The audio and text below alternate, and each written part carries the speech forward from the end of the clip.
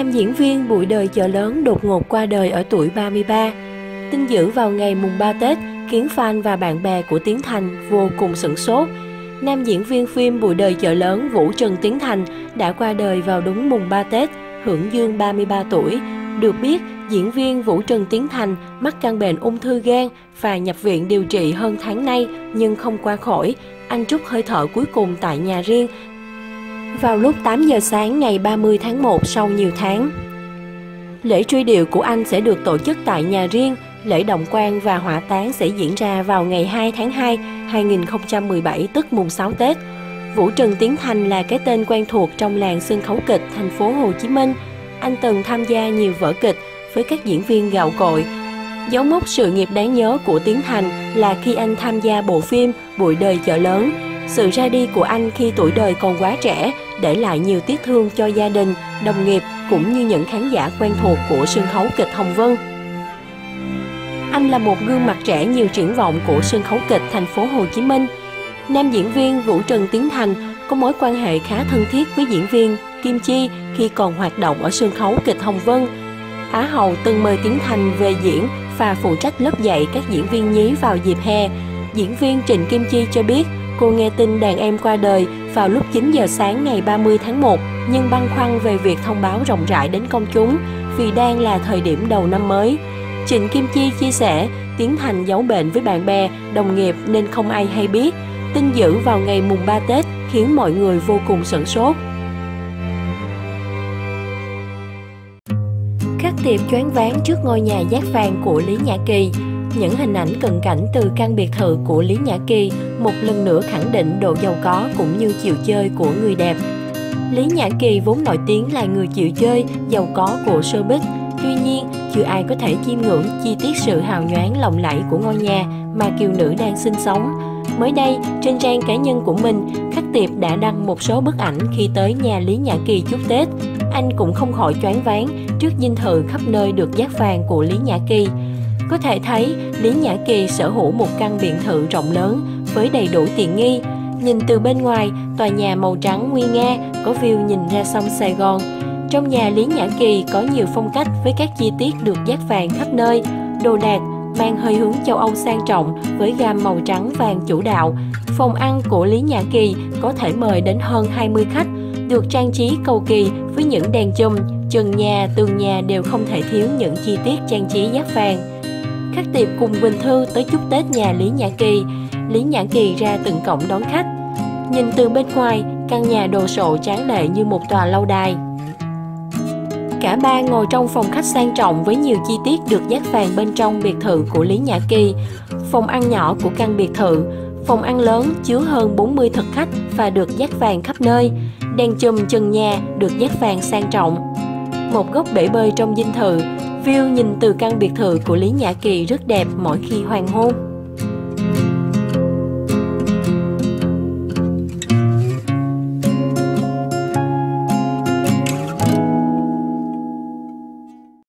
Lê Giang uất ức uống thuốc tự tử vì thông tin thuê người đánh chồng cũ nhập viện.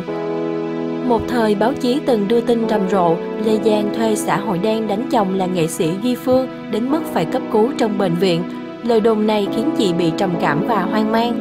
Không nổi tiếng đình đám như những ngôi sao lớn, nhưng nhắc đến Lê Giang, đông đảo khán giả vẫn thuộc tên nhớ mặt. Những nhân vật hài, độc, lẳng đã tạo nên phong cách Lê Giang, mà từ đó người đối diện luôn thấy chị lúc nào cũng mạnh mẽ, sôi nổi, vui vẻ và lạc quan. Thế nhưng, cuộc đời chị đã đi qua nhiều giai đoạn buồn bã đến mức bế tắc. Tổ nghiệp chấm vai hài độc lẳng, cha mẹ của Lê Giang không theo nghệ thuật nhưng cậu ruột của chị chính là kép độc nổi danh của đoàn cải lương Trần Hữu Trang thập niên năm 1980, thành phố. Người cậu thứ bảy này đã phát hiện ra niềm đam mê cũng như năng khiếu cải lương của Lê Giang nên đã dần hướng chị vào con đường ca hát.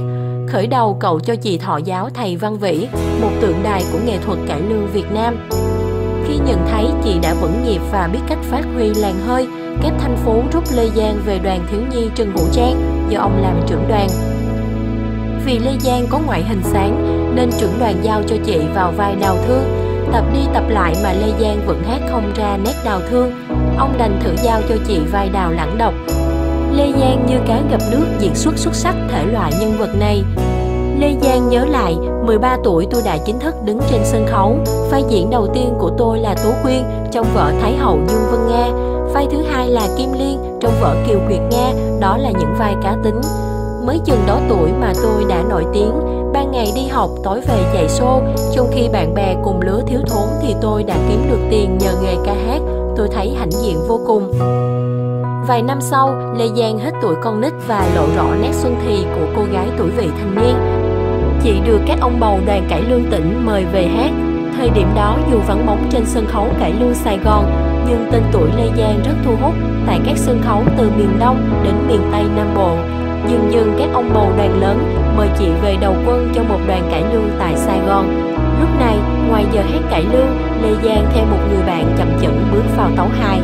Lê Giang cho biết khi ấy cải lương đang dần xuống dốc, còn tấu hài lên ngôi. Thế nhưng tôi đi tấu hài không phải vì hăng sân khấu hài ở hồi hưng thịnh, mà là vì tôi thích được trình diễn. Trên sân khấu cải lương, tôi đóng vai ác khiến khán giả giận, đó rồi cười đó. Tôi đem sở trường này áp dụng qua tấu hài tới mức không biết nghỉ ngơi. Bước một lần mặc áo cô dâu, lúc Lê Giang tầm 18 tuổi thì Duy Phương đang nổi tiếng trầm rộ, anh được xem là ông vua của tất cả các phòng vé bên cạnh nghệ sĩ ưu tú Bảo Quốc. Gặp nhau tại sân khấu hài, Duy Phương thích nét diễn của Lê Giang nên mời chị về nhóm. Từ đó tên tuổi Lê Giang được đi kèm cái tên đình đám Duy Phương. Nhờ vậy, chị nổi tiếng hơn trước, rồi hai người dọn về ở chung dù Duy Phương lớn hơn Lê Giang tới 17-18 tuổi. Nói về hôn nhân của Nhi Phương, Lê Giang có nhiều ý kiến trái ngược nhau, trong đó nhiều người cho rằng chị là một người vợ vô trách nhiệm. Thậm chí báo chí một thời đưa tin nóng về sự kiện Lê Giang thuê xã hội đen đánh Nhi Phương đến mức phải cấp cứu trong bệnh viện. Lời đồn đại đã khiến cho Lê Giang rơi vào trầm cảm và hoang mang. Lê Giang cùng con gái ruột Lê Lộc và bé Mai Chi trong tiệc mừng chiến thắng cuộc thi Gương mặt thân quen nhí. Chị giải bày, tôi hoàn toàn không muốn nhắc lại chuyện đau buồn ngày xưa vì tôi muốn quá khứ ngủ yên. Tuy nhiên, vì nhiều người chưa hiểu đúng câu chuyện nên tôi chia sẻ thêm đôi chút Lúc về sống chung với anh Duy Phương, tôi mới 18-19 tuổi nhưng không hề có đám cưới. Nguyên nhân là vì trước đó anh Duy Phương đã có gia đình. Chúng tôi sống với nhau đến 6 năm trời mới đăng ký kết hôn. Nhiều lúc đi hát đám cưới hay vô tình bắt gặp đám cưới ngoài đường, tôi khát khao mình được mặc áo cô dâu. Dù vậy, tôi vẫn chấp nhận thiệt thôi và an phận với những gì mình đang có. Nhưng tuổi trẻ có khi quá vô tư, tôi nói chuyện thân mật với nghệ sĩ nam nào là y như rằng sẽ bị chồng đánh bị riết rồi tôi thay đổi tính nét, gặp đàn ông là tôi nhìn thẳng đi thẳng chứ không dám nói cười thân thiện. Thế nhưng lê giang và duy phương cũng tiếp tục song hành bên nhau. Họ làm bầu các show tỉnh nhưng chẳng may thất bại liên tục. Từ đây mâu thuẫn nảy sinh ngày càng nhiều họ chia tay khi con còn rất nhỏ người chịu trách nhiệm nuôi hai con thơ chính là duy phương con ruột thờ ơ chính vì lê giang không nuôi con sau khi chia tay với duy phương mà dư luận càng khẳng định chị là một người vợ vô trách nhiệm, thiếu tình người. Theo lý giải của Lê Giang, lúc đó chị ra khỏi nhà với hai bàn tay trắng, mà công việc gần như không còn cơ hội. Người ta râm ran với nhau, Lê Giang âm mưu hãm hại Duy Phương, nên các bầu xô ngoảnh mặt với chị. Không có tiền bạc sao nuôi con, trong khi danh hài Duy Phương có điều kiện kinh tế tốt hơn. Thế rồi tin đồn bất lợi cho Lê Giang ngày càng nhiều đến mức chị bị trầm cảm. Lúc Di Phương đang cấp cứu trong bệnh viện, Lê Giang âm thầm tự tử bằng thuốc an thần. May mắn có người phát hiện kịp lúc đưa vào bệnh viện suốt ruột. Chỉ còn điều trị cả tuần lễ mới hồi tỉnh. Buồn là con cái không hiểu hết những nỗi khó khăn của mẹ.